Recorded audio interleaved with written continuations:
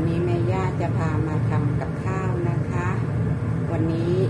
แม่ย่ามีเมนูใหม่ ๆนะคะ คือแม่ย่าจะมาแกงส้มผักเบี้ยใหญ่นะคะ เขาบอกว่ามันเป็นยาเนาะรักษาสุขภาพได้คนแก่ได้ดี เป็นอะไรที่แบบว่าภูมิแพ้ก็ดีโรคมะเร็งก็ดีหรือคือ สรรพคุณเป็นยาเยอะนะคะ ผักเบี้ยบ้านเรานะคะ ที่สมัยก่อนเมื่อตอนเด็กๆแม่ย่าถอนให้ไก่นะคะถอนให้ไก่กินนะคะ นี่ก็คือแม่ย่าใส่ไปแล้วนะคะ คือ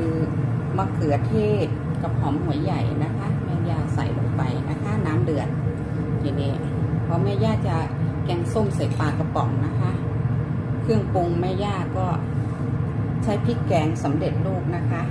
ไม่ต้องมีอะไรเยอะ แต่ถ้าว่าเป็นบ้านเราเราต้องการที่จะทำก็เราใช้ปลากระป๋องแบบว่าเป็นน้ำซอสมะเขือเทศก็ได้นะคะ ทดแทนกันได้นะคะนะคะ ผักเบี้ยนี่แม่ย่าสับนะคะ สับให้ละเอียดนะคะ เพราะว่าเวลามันสุกแล้วมันมันก้านมันจะเหลือแต่ก้านนะคะแม่ย่าก็เลยต้องทำในทำหม้อเลยนะคะทำหม้อใหญ่นี่ก็คือผักเบี้ยของเรานะคะ ไม่อยากจะใส่ลงไปนะคะนี่ค่ะนี่ค่ะวัตถุดิบของเรา แม่ย่าจะแกงใส่ปลากระป๋องนี่ค่ะ มันจะเป็นใบแบบนี้นะคะ มีคุณอนันต์มากเลยนะคะ เราก็ต้องสรรหาอะไรที่ดีกับสุขภาพเราเนาะวัตถุดิบนะคะไม่อยาใช้ผักดีก่อนแบบเดียวนะคะมือข้างหนึ่งก็กล้องมือข้างหนึ่งก็โอเคนะคะขุกขักนิดหน่อยนี่ค่ะ เราก็ ปรุงเราก็ค่อยใส่ไปนะคะในยาผสมเรียบร้อย แต่นี้เรากำลังจะต้มให้มันเปื่อยก่อนนะคะ เพราะว่าแป๊บเดียวก็สุกค่ะ ผัก ผักเปี้ยใหญ่นี่ค่ะเพราะว่า คนที่เป็นโรคกระเพาะนะคะแม่ย่านี่เป็นโรคกระเพาะนิดๆนะคะ ก็เลยว่าเออลองเอามาทำดูนะคะ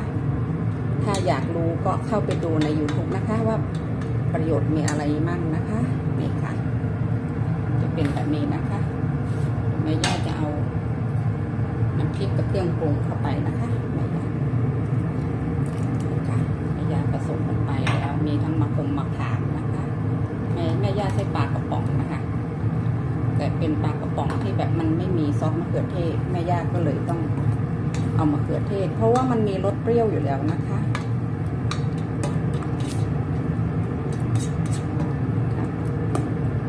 มาทำนะคะ พอ เราก็เติมผงปรุงรสที่เราชอบนะคะ เราก็ใส่ปลากระป๋องแล้วก็ปิดฝาเลยนะคะ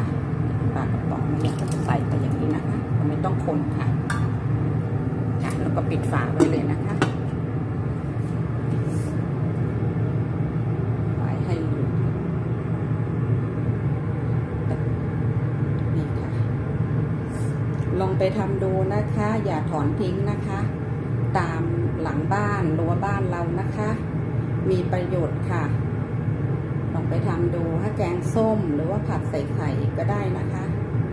เป็นสมุนไพรบ้านเรานะคะ ดังค่ะ ต่างประเทศดังมากเลยค่ะ ที่ตะวันออกกลางเขาก็จะมาแกงแบบแบบสไตล์อาหรับนะคะ แต่แม่ย่าว่าเออลองมาทำแม่ย่าก็ทานบ่อยนะคะ แบบสไตล์อาหรับเขาก็จะมาผัดใส่เนื้อแพะนะคะ ลองไปทำดูนะคะ